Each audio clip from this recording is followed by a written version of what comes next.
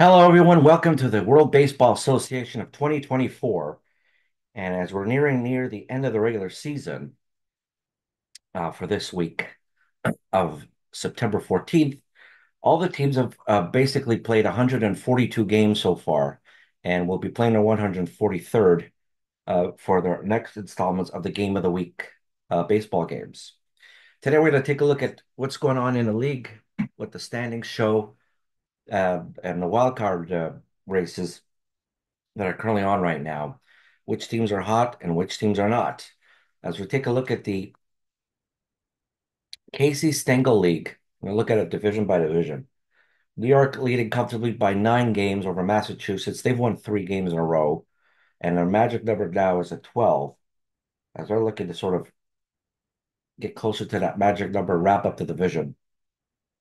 Kentucky's making a bit of a run. Uh, Rhode Island has moved up to 571 and 71. Uh, Kentucky has won eight out of the last 10 now. They're 18 games out, of course, but they're they're still far away from Massachusetts, but they're going to try to make a run for a wild card spot. Massachusetts having lost three games in a row now. In the Atlantic Division, Maryland comes off the upper with an 89-53 record. Pennsylvania has seen uh, a five-game win streak, and Indiana has seen a five-game losing streak. And they're tied at 77 and 65 as they're in the thick of the wild card race. New Jersey, having won a game, having lost four out of 10, though, they're 72 and 70, five games back of Pennsylvania, Indiana for wild card spots. And looking to have a good week here as we near as we're 20 games away from the end of the regular season. In the Southeast Division, you got Florida, Georgia, and North Carolina, North Carolina losing their last games. However, Florida up by three on uh, Georgia and eight on North Carolina. That's been uh, really playing well. Alabama's at 12 games back here as they got an outside shot to a wild card. Uh, but Georgia's been playing slightly better. They're trying to keep pace with Florida. Those two teams are constantly at each other's, uh, nipping at each other's uh, feet here, looking to secure division title and maybe even a wild card. As look at the final division of the Casey Stengel League, Ohio obviously um, scheduled to win the, their the Mid North Division. Their magic numbers at four games at 93 and 49, which is the best record of the Casey Stengel League. They're going to they want to be able to finish healthy, they finish strong, and uh, get ready for another playoff push. In the meantime, uh, Iowa at 76 and 66 is looking for a wild card spot. They're one game out. As we take a look at the uh, wild card here, take a look at the wild card standings in the Casey Stengel League. Obviously, you have the four division winners in Ohio, New York, Maryland, and Florida that are seeded one through four, but then five through eight is uh, quite an interesting race.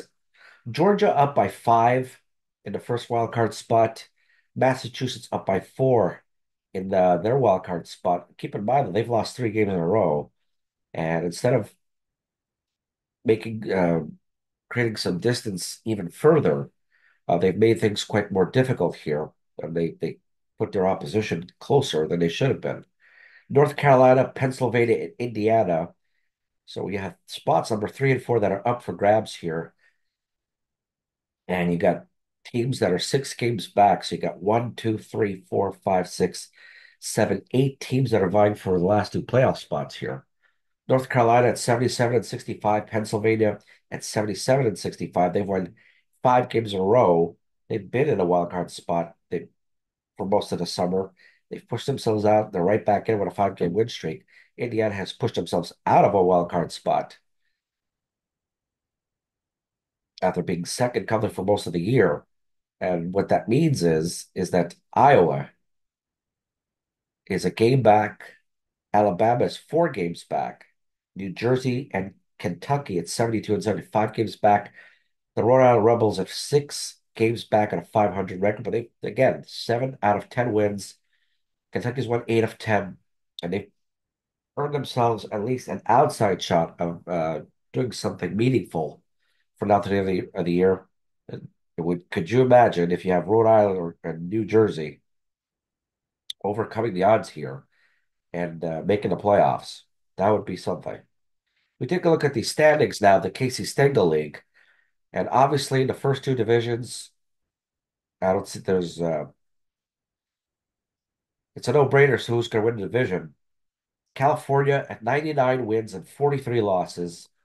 Uh, the magic numbers at four. They'll most likely win their division this week.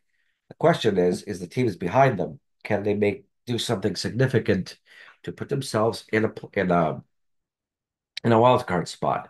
New uh, Desert City at 82 and 60, an incredible, very good record, by the way. Not incredible. Is 17 games back of California, uh, but they're looking to secure a playoff spot. So is Washington, Oregon, and uh, Rocky Mountain at 70 72 have lost their last three games each and have pushed themselves out of a playoff spot as a result. In the Southern Division, Texas, having already secured the first team to secure a playoff spot, as a matter of fact, they secured it uh, a few days ago 113 wins, 21 losses, 9 and 1 record.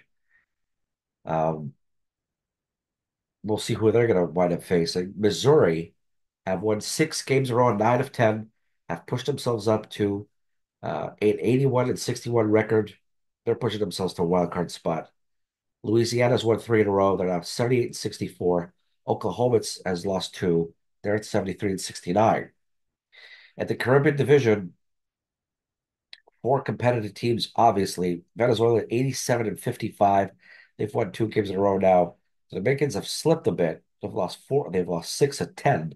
They're still 85 and 57, two games out, but they have to contend with Cuba's won eight of 10. They're three games back, but the Cuba's one game back of the Dominicans. Puerto Rico's not won seven of 10. They're seven games back of Venezuela, but they're five games back of the Dominicans. And that's something crucial when we're talking about the wild card spot. And in the uh, international division, Japan is still up by four on Canada. Uh, Canada's been, been able to play 500 baseball. Japan has lost seven of 10, and they've been able to uh, catch two games on them. So from six, they're down to four.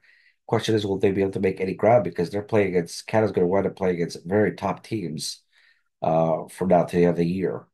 If you look at the wild card, it's interesting because you have Oklahoma and Washington are eight games out uh, of a wild card spot, and then it gets a little bit closer. Oregon, Rocky Mountain, Arkansas, 70, 70 and 72, 11 games back with 20 games left. High probability, not slim to none chance that they won't get there. The Dominicans have 85 wins, are have the first wild card. Actually, let me take a look. Let's take a look at the wild card uh, board. So Texas at 113 wins has are the first seed. California 99 wins, the second seed. Venezuela 87 wins, the third seed. Japan, by default, winning their division uh, with a sub 500 record of 63 and 79, the fourth seed. The Dominicans at 85 wins are the first seed of uh, the first wild card. Cuba, a game back, the second wild card. Desert City, the third wild card at 82 wins. Missouri, having shot way up in the standings, have now secured the fourth seed. Puerto Rico, one game back of Missouri. Louisiana, three games back of Missouri. You got Oklahoma and Washington, eight games back. So this is what the standings looks like so far at 142 games. In terms of the games that will be played in this and the games of the week, there are some pretty good ones here. The one we'll be mostly taking a look at here is New York at South at North Carolina. Jim Palmer at 16 and 7 to face Madison Bumgarner, who had a great start last time, but has struggled overall this year at 9 and 11. There's a whole plethora of games here that are available at the 143 game mark. In terms of the South, in terms of the Casey Stengel League, you have Desert City at the Dominican Republic, you have Washington at Puerto Rico, you have Oklahoma, Venezuela, California at Cuba.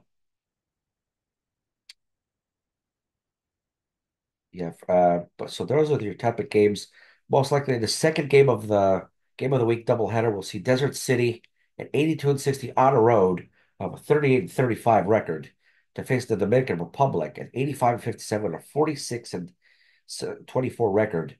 Gary Gentry, 12 and 11 with a 3.51 ERA, will face Francisco Liriano, 16 and 6 with a 3.30 ERA.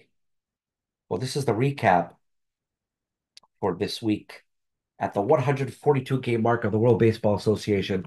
We hope you enjoyed this. Uh, we'll look forward to uh, issuing out the two games of the week uh, for the Casey Stengel League and the Connie Mack League. Uh, thank you for listening. Thank you for watching. Please follow on YouTube at the World Baseball Association, and I will see you next time. Enjoy and take care.